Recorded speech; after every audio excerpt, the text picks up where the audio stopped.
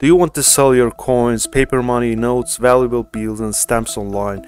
You can publish your ads for free on our website, thecoinads.com. For mobile users, it's much easier publishing coin ads using our Coinads app. Hey coin collectors, this is 1965 Washington quarter in circulated AU58 condition. What makes it highly sought after coin is that it was struck on a 90% silver blank during transitional period a transitional alloy wrong planchet error, similar to the most famous 1943 bronze Lincoln cent. In 1965 and early 1966 quarters were struck in a both silver and copper nickel format.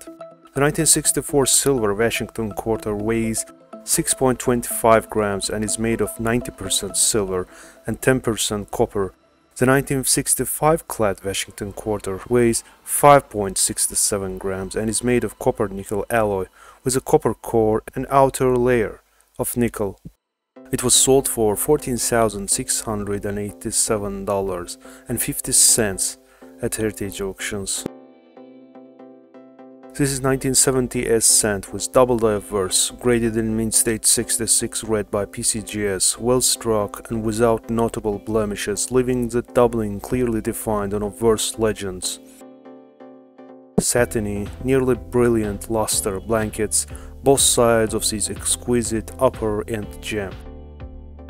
The complexion is best in original light orange mint color that glows radiantly under illumination sold for $18,000 in 2022 at Stack's Bowers. This is 1976S Jefferson nickel in PR68 red ultra cameo condition, an error coin struck on a cent planchet.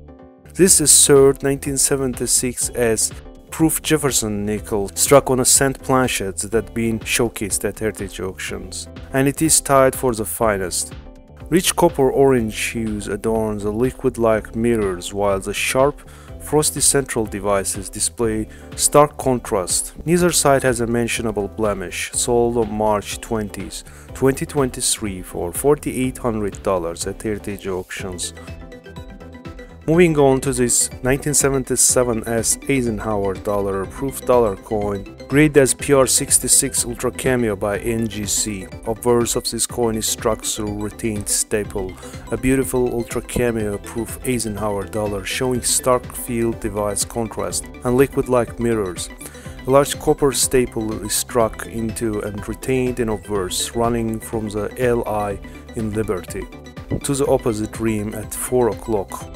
It was sold on March 20, 2023 for $9,000 at Heritage Auctions.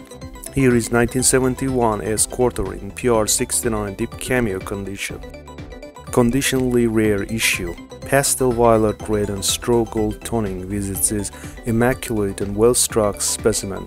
The fields are glassy and the motifs are luminous. Most proof 1971S quarters exhibit only moderate white on black contrast and deep cameo pieces are surprisingly elusive. Sold for $3,525 at Heritage Auctions.